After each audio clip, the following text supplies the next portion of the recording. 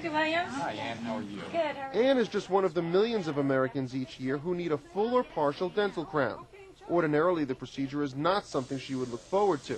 But new technology is letting dentists place these restorations in a fraction of the time it used to take. Well, the old way of crowns and the problems that we had, it would be multiple visits, shots of Novocaine. Sometimes temporaries could be problems for the patient for falling out, and that would really be a very big inconvenience for the patient. We're trying not to do that. Crowns are used to repair broken teeth, teeth that have had root canal, or to replace large fillings. 40 million crowns are placed into the mouths of American patients each year.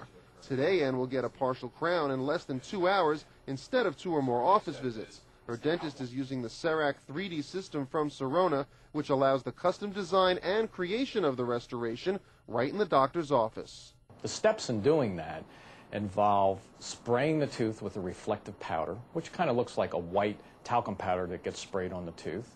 We would then take an optical impression of the tooth wired to a computer that would give us the ability with three-dimensional software to design the restoration exactly according to the specifications that we're looking for. As in this case, CEREC often enables the dentist to save more of the original tooth by creating partial instead of full crowns. After designing, the data is then sent to the milling chamber where the crown is produced in about 20 minutes. Having had this new procedure, I can't imagine ever going back and having it done the old way again. The time involved compared to the old one with taking the molds and everything is it's just amazing. The CEREC procedure is covered under most dental plans and costs about the same as the traditional method of placing a crown. But the biggest value for Anne was getting those pearly whites fixed in just one visit. That's amazing. This is Larry Stevens reporting.